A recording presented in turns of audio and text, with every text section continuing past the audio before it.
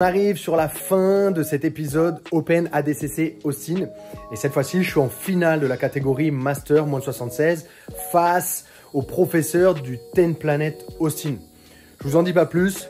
Restez bien jusqu'au bout de la vidéo. Je ferai pour la première fois une analyse sur ce combat et vous me direz si ce format-là vous plaît. Et la prochaine fois, je vous ferai des analyses de tous mes combats. C'est parti, let's go. Oh ça. C'est méchant, méchant, méchant.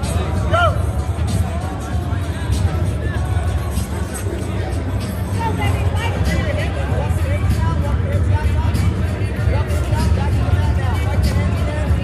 dégage ça. Giovanni Carvalho to mat number two. Giovanni Carvalho to mat number two. Colt Gillis, mat five. Colt Gillis,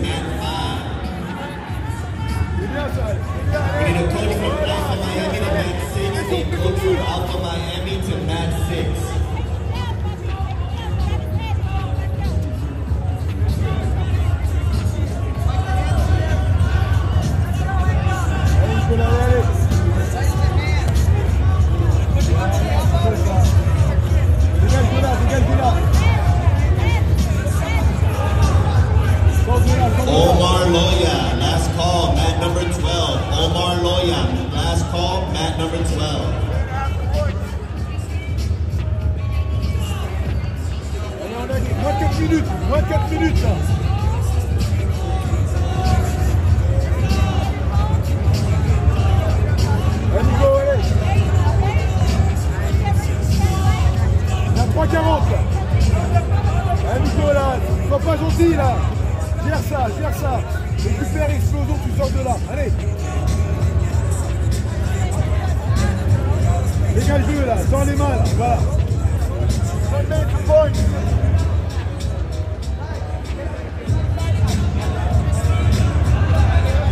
Il a 3 20, 3 minutes 20.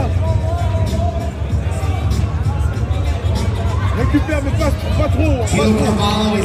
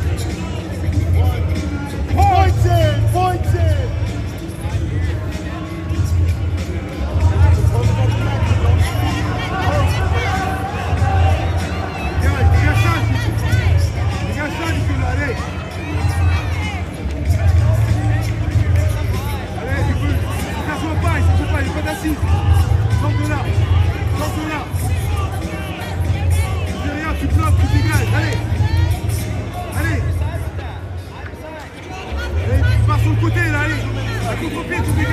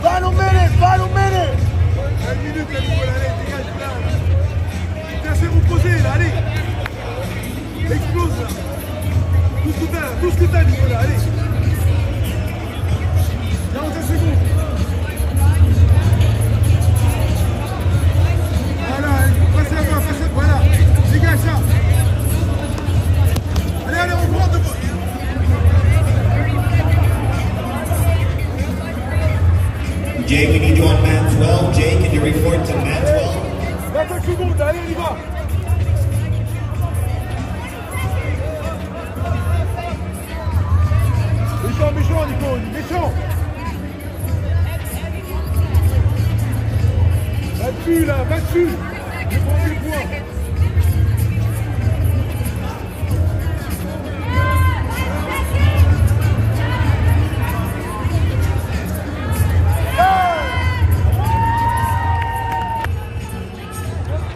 J'espère que vous avez apprécié ce combat. Donc, comme je vous l'ai dit, c'était ma finale adulte, euh, pardon, finale master moins de 76 kilos face au professeur de Ten Planet. Alors, c'était marrant parce que la même semaine, avant la compétition, j'étais allé m'entraîner là-bas. J'avais pas tourné avec lui, mais il était présent.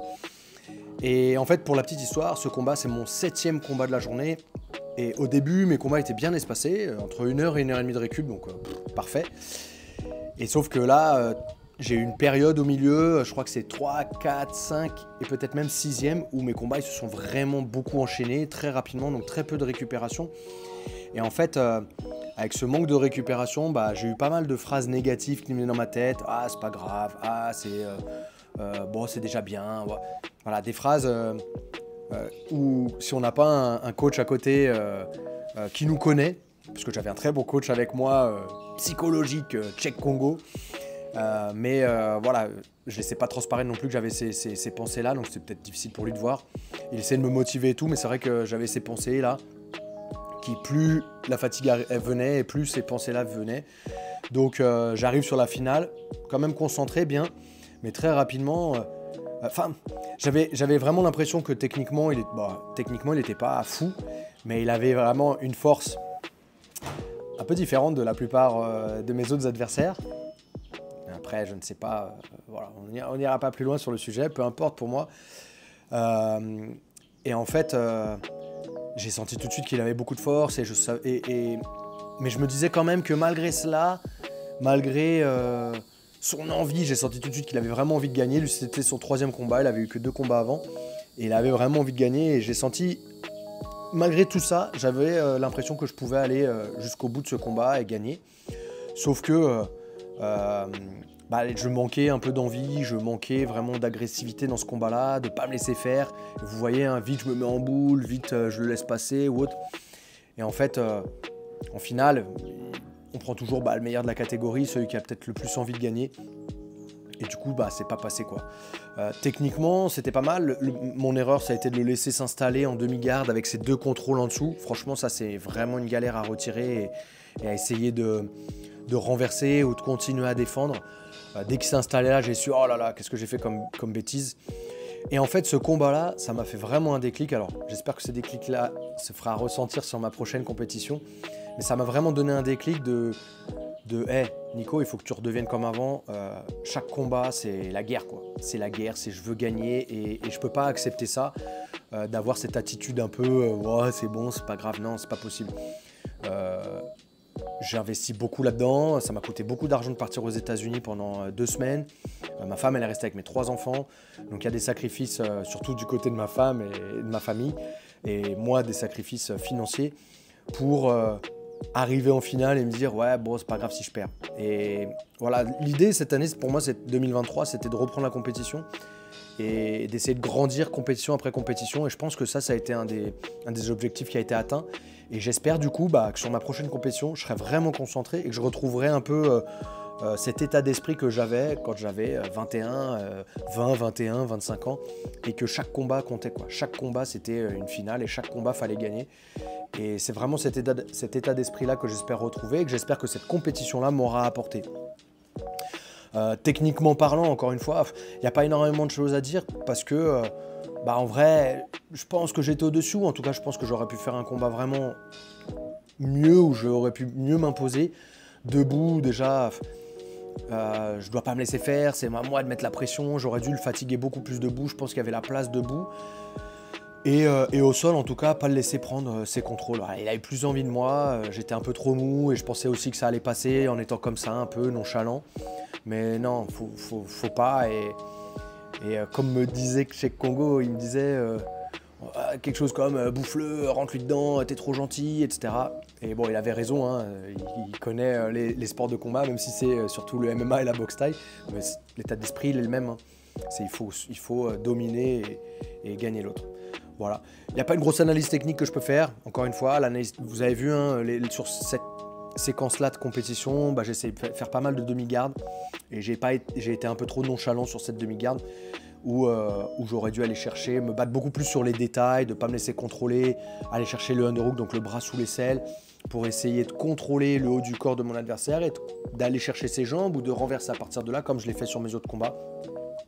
Sauf que, bah voilà, encore une fois, lui, il a eu beaucoup plus d'envie, plus concentré, moins un peu moins, euh, abandonné plus facilement. Donc euh, voilà, c'est un Nicolas que je veux plus revoir sur les compétitions et j'espère qu'on le reverra plus. Et, euh, voilà, j'espère que ça, ça vous a plu. Encore une fois, sur ce combat-là, pas une énorme analyse technique que je peux vous faire, mais je pense que vous l'avez vu, il y en a pas mal qui, commentent mes vidéos et qui ont, franchement, à chaque fois, il y a des bonnes analyses, donc ça fait plaisir. Et vous voyez un petit peu que, voilà, sur cette compétition-là, bah, au fur et à mesure que les combats sont passés, je lâchais un peu plus facilement, quoi. Et c'est vraiment quelque chose sur lequel je veux travailler sur les prochaines fois et je veux pas que ça se reproduise. Donc j'espère que ça se reproduira pas, vous me le direz. Euh, je compte sur vous. Et puis euh, voilà, si vous êtes de passage sur Paris, n'oubliez pas, vous pouvez venir au NR Fight Club Paris, vous avez toutes les informations dans la description. Et allez récupérer aussi un petit cadeau dans la description pour vous sur bgfanatics.fr. Donc France, c'est du contenu euh, technique pour apprendre le combat au sol, mais aussi le pied-point, le MMA. Avec des Français, pour les Français, en français, et puis aussi les meilleurs coachs mondiaux traduits en français. Donc voilà, donnez aussi un petit coup de main, ça fait plaisir que ce soit de venir au NR5, que ce soit d'aller sur BG Fanatics. Ça, aide aussi le milieu à avancer parce que bah, sur BG Fanatics, c'est des professeurs qui vivent de ça et, ou qui essayent d'en vivre et à chaque fois que vous achetez un DVD, bah, il y a bien évidemment un pourcentage qui leur est remis. Donc ça aide toujours les professeurs qui sont sur cette plateforme. Et pareil pour le NR Fight, tout le monde veut un super club sur Paris, euh, de belles infrastructures. Mais moi, je suis dépendant bah, des adhérents, du nombre de personnes qu'il y a au club. Donc à chaque fois que vous venez au club, à chaque fois que vous payez un cours, que vous payez un abonnement, eh bien moi, ça m'aide à avancer plus rapidement et à aller chercher bah, ce que vous voulez tous, en fait, un, club euh, top. Euh, dans lequel vous pouvez vous entraîner, vous êtes encadré par des professionnels, euh, que ce soit que vous soyez débutant, euh, avancé, compétiteur. L'objectif c'est vraiment de vous encadrer du mieux qu'on peut. On fait beaucoup d'actions sur lesquelles on ne communique pas encore assez, mais on fait beaucoup d'open mat, on essaie d'accompagner nos élèves, on essaie de les mettre face à des gens de leur niveau pour qu'ils puissent s'exprimer. Euh, puis aussi, on, relativise un petit peu, hein, que ce soit sur les victoires ou sur les défaites. L'idée, c'est d'accompagner euh, vraiment psychologiquement euh, nos athlètes. Et encore une fois, que ce soit des loisirs ou des compétiteurs. nous, on a vraiment cette envie-là d'accompagner les gens dans leur pratique pour essayer de les emmener le plus loin possible dans ce qu'ils veulent. Voilà, donc j'espère que ça vous plaira. Laissez un commentaire, laissez du like comme d'habitude, et puis on se voit dans la prochaine vidéo. Au